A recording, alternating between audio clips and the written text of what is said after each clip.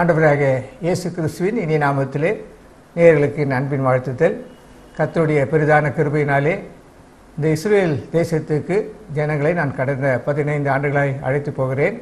இதுவரை எழுபத்தி ஒரு குரூப்புகளை நான் அழைத்து போய் வந்திருக்கிறேன். கர்த்தருக்கு சுத்தமானால் வருகிற அக்டோபர் மாதம் பதினோராம் தேதி முதல் இருபதாம் தேதி வரை அடுத்த குழு போகிறது. உங்களை அன்போடு அழைக்கிறேன் வாருங்கள். இது குறித்து ஒரு சிறிய தொகுப்பை நான் காண்பிக்கிறேன். பிறகு கத்துடைய வார்த்தையை உங்களோடு பகிர்ந்து கொண்டு உங்களுக்காக ஜெபிக்க விரும்புகிறேன். பாருங்கள் வாருங்கள். கத்தர் உங்களை ஆசிர்வதிப்பார். நான் ஒரு முக்கியமான கிராமத்தில் நிற்கிறேன்.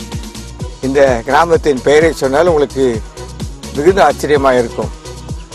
இந்த கிராமத்தின் பெயர் நாயினூர். ஞாபகம் வருகிறது அல்லவா? நம்முடைய ஆண்டவர் கூடி செய்த நாட்களிலே இந்த கிராமத்திற்கு வரும்பொழுது கிராமத்திலிருந்து ஒரு பெரும் கூட்டம் வந்தது.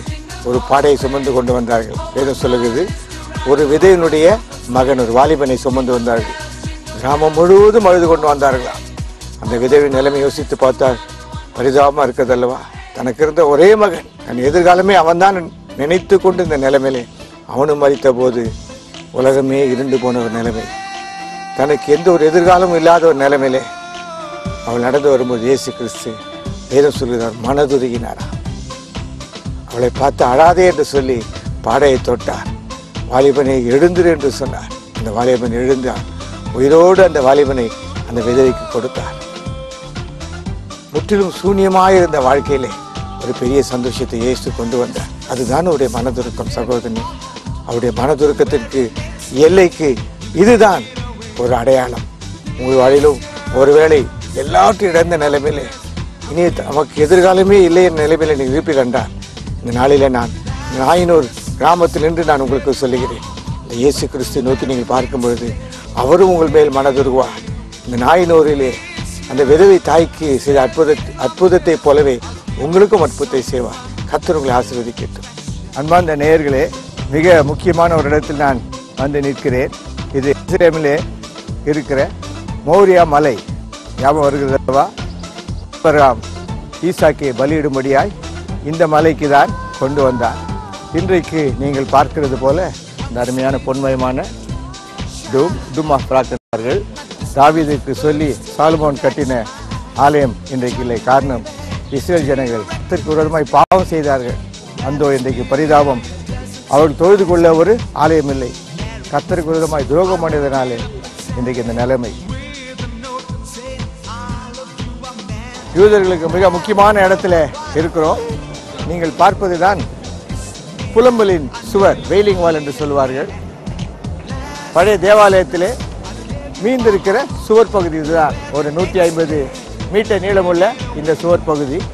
இங்கிருந்து தான் யூதர்கள் ஒவ்வொரு சனிக்கிழமை அதாவது வெள்ளிக்கிழமை மாலை ஆறு மணி முதல் சனிக்கிழமை ஆறு மணி வரை அவர்கள் ஆண்டவரை தொழுது கொள்கிற இடம். எல்லா யூதர்களும் இங்கே தான் வருவார்கள்.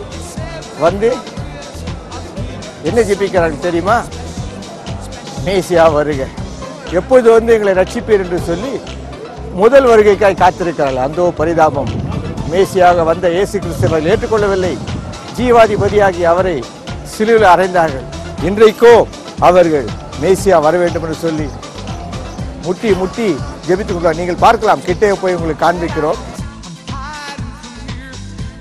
முட்டி முட்டி ஜெபித்துக் கொண்டிருக்கிறார்கள். என்ன பரிதாபம். நாம் இயேசு கிறிஸ்து ரெண்டாவது வருகைக்காய் காத்திருக்கிறோம். இவர்களோ முதல் வருகைக்காய் ஏங்கி தவிக்கிறார்கள். இயேசுவை கொலை செய்தார். ரட்சகரை கொலை செய்தார். சிலுவையில் அறைந்தார்கள். இன்றைக்கோ வேதனையில் இருக்கிறார்கள் இன்றைக்கும் இயேசு கிறிஸ்து ஏற்றுக்கொள்ளில் ஆனாலும் பல யூதர்கள் இயேசுவை ஏற்றுக்கொண்டிருக்கிறார்கள். மெசியானிக் யூதர்கள் என்று சொல்வார்கள். இன்றைக்கு அபிஷேகத்தை பெற்ற யூதர்கள் இருக்கத்தான் செய்கிறார்கள்.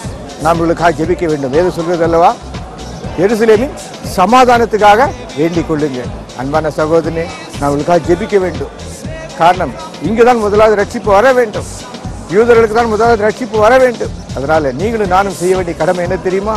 இந்த யூத மக்களுக்காய் இந்த எருசலேமின் ரட்சிப்புக்காய் நான் ஜெபிக்க வேண்டும். பாருங்கள் கிட்டே போய் காண்பிக்கிறேன் அவர்கள் எப்படி ஜெபிக்கிறார்கள் என்பதை.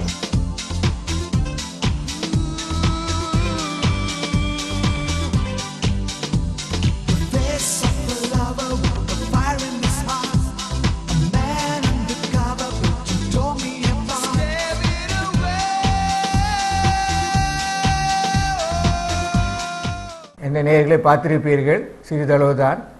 ஆண்டவரை பெரிதான கிருபினாலே நான் பல முறை இஸ்ரேல் தேசத்துக்கு போயிருக்கிறேன். ஒரு முறை நாசிரியத்திலிருந்து கானாவூருக்கு பஸ் பிரயாணமாக போய் கொண்டிருக்கும்போது ஒரு சைன்போர்டை பார்த்தேன். அதில் விடோஸ் சன் என்று போட்டிருந்தது விதவினுடைய மகன் ஒரு சின்ன ஆலயம் என்று குறி போட்டிருந்தது. எனக்கு ஒரே ஆச்சரியம்.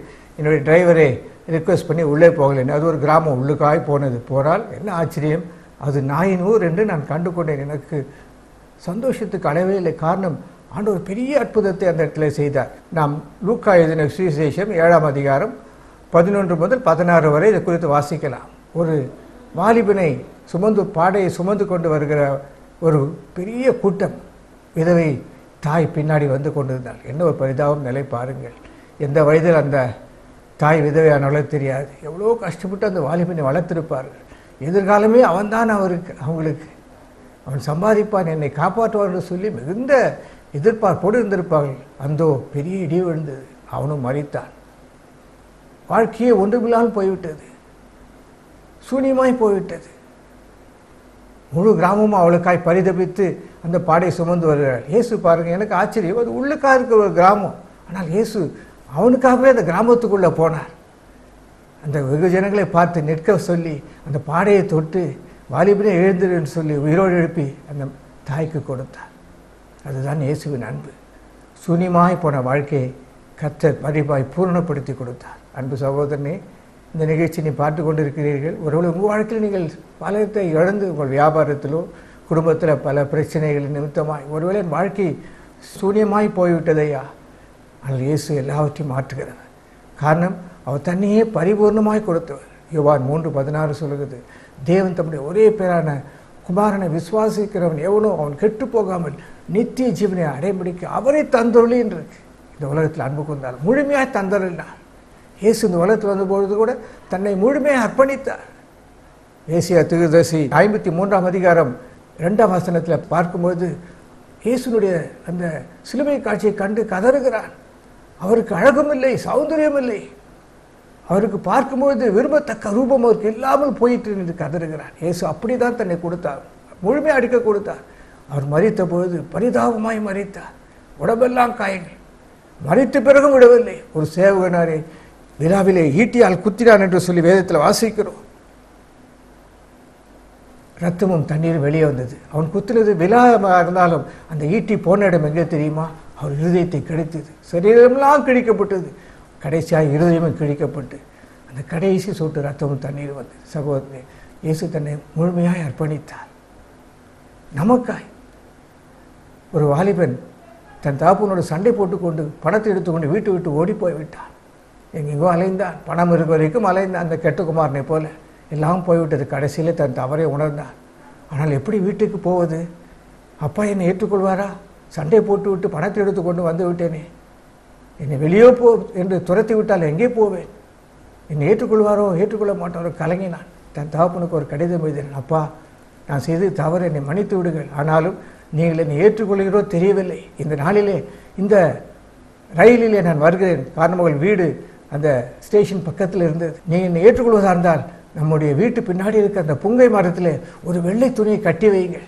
நான் ரயிலில் போகும்போது அந்த துணியை பார்ப்பேன் என்றால் நீங்கள் என்னை ஏற்றுக்கொண்டீங்களா அர்த்தம். ஒருவேளை நீங்கள் என்னை விரும்பவில்லை என்றால் கட்டாதீர்கள். நான் அப்படியே போய்விடுகிறேன் என்று. நாள் வந்தது. உள்ளமெல்லாம் அவனுக்கு படப்படுத்தது. அந்த ரயில் வண்டி வந்து கொண்டே இருந்தது. வீட்டுக்கிட்ட வரும்போது பார்த்தான் வீட்டில் அந்த மரத்தை காணவில்லை. அவனுக்கு ஒரே பயம். அப்பா இனிமேல் இருக்கிற கோபத்தில் இந்த மரத்தையே விட்டு விட்டார் போல இருக்கு என்று நினைத்தான். அந்த ஒரு ட்ரெயின் கிட்டே வந்தது. அவனுக்கு பெரிய ஆச்சரியம் காத்திருந்தது. ஸ்டேஷன் ஒன்று இறங்கினான். தகப்பன ஓடி வந்து கட்டி அவனை முத்தமிட்டார். மகனே நீ எங்கே? நீ வ போய்விடியோன்னு கலங்கினேன். என்ன காரியம் செய்ய செய்திருந்தார்? அவர் துணியை கட்டவில்லை. இந்த முழு புங்க மரத்திலும் வெள்ளை துணியால் போர்த்திருந்தார் அவன் கேட்டான் அப்பா ஏன்பா அதை செய்தீங்க? இப்போ சொல்ல மகனே ட்ரெயின் போகிற வேகத்தில் நான் ஒரு சின்ன துணியை கட்டி வைத்து நீ பார்க்காமல் போய்விட்டால் நான் உன்னை இழந்து விடுவேன். அதனால் தான் அதை செய்தேன் என்றார் இதுதான் ஒரு அன்பு. இதுதான் இயேசு முழுமையாக செய்தார். சிறுவிலை செய்தார். அன்பு சகோதரனை இந்த காலவெளியில் கத்துடைய வார்த்தை கேட்க நீ உன்னையும் கத்திற்கு முழுமையாக அர்ப்பணி. கத்தர் எல்லாவற்றையும் கொடுக்க விரும்புகிறார். மத்திய ஆறாம் அதிகாரம் முப்பத்தி மூணு வசனத்தை தான் சொன்னார். முதலாவது தேவனுடைய ராஜ்யத்தையும் அவருடைய நீதியும் தேடுங்கள். எல்லாம் கூட கொடுக்கப்படும் என்றார். இந்த காலவழியில் கத்திரை ரட்சிப்பை பெற்றிருக்காயா? சகோதரி ஒருவேளை கத்திரை விட்டு பின்வாங்கி போயிருக்கிறாயா? இயேசு உன்னை அழைக்கிறார். அவர் எப்பேற்பட்ட நிலைமையிலும் ஏற்றுக்கொள்ள அவர் காத்திருக்கிறார். காரணம் தன்னையே முழுமையாய் கொடுத்தவர். தன் ரத்தத்தை முற்றிலுமாய் நமக்காய் நம்முடைய பாவங்களுக்காக சிந்தினார். இன்றைக்கும் காத்திருக்கிறார். நம் அரவணைக்க. நீ கத்திரத்தை திரும்பவையானால் கத்தர் உன்னை ஆஸ்வதிப்பார் ஏற்றுக்கொள்வார். அடியுமாய் தன் உனக்கு இழந்து போன ரட்சிப்பை திரும்ப தருவார். என்னெல்லாம் உன் வாழ்க்கையில் சூன்யம் என்று நீங்கள் நினைக்கிறீர்களோ அதை கத்தர் மாற்றுவார். ஆசீர்வாதத்தை கொடுப்பார். உங்களுக்காக நான் ஜெபிக்க விரும்புகிறேன். பாரத்தோடு ஜெபிக்க விரும்புகிற காலவெளியில் எப்பேற்பட்ட நிலைமையில் இருந்தாலும் சரி இயேசு உங்களை தொழுவார் இயேசு உங்களை ஆசீர்வதிப்பார். செய்ய வேண்டியதெல்லாம் இந்த இயேசுக்கு உங்கள் வாழ்க்கையை அர்ப்பணியுங்கள். வெளியேற பெற்றது இந்த ஆத்துமா. இந்த ஆத்துமா கத்தர் முழுமையாக ரட்சிக்க விரும்புகிறார். அவர் ரட்சித்து முழுமையான ஆசிரத்தை தருவார். அந்த திக்கற்ற விதவிக்கு முழுமையாக கொடுத்தார். அதுதான் அவருடைய அன்பு. எப்படி அந்த வாலிபனை தகப்பன் முழுமையாக ஏற்றுக்கொண்டார்? அதை தான் இயேசு சிலுவிலை செய்தார். இன்றைக்கு உங்களுக்கு முழுமையான ஆசீர்வாதத்தை கொடுக்க விரும்புகிறார். முதலாவது உங்கள் இருதயத்தை ஆண்டுக்கு கொடுங்கள். பின்வாங்கி போன வாழ்க்கையை கத்திற்கு கொடுங்கள். இயேசு உங்களை ஏற்றுக்கொள்வார். யாரையும் தள்ள மாட்டார் யாரும் புறமே தள்ள மாட்டார் வருத்தப்பட்டு பாரம் சுமக்கிறவர்களே எல்லாரும் என்னிடத்தில் வாருங்கள்.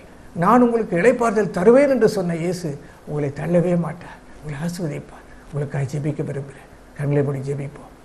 அன்புள்ள ஆண்டவரே தர்மையான அருமையான காலை காய் சோத்திரமப்பா அந்த நாயின் ஒரு விதையினுடைய கண்ணீரை தொடர்த்தீர் ஆண்டவரே.